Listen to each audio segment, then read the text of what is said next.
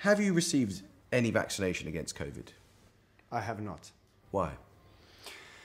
I understand that uh, and support fully uh, the freedom to choose, you know, whether you want to get vaccinated or not.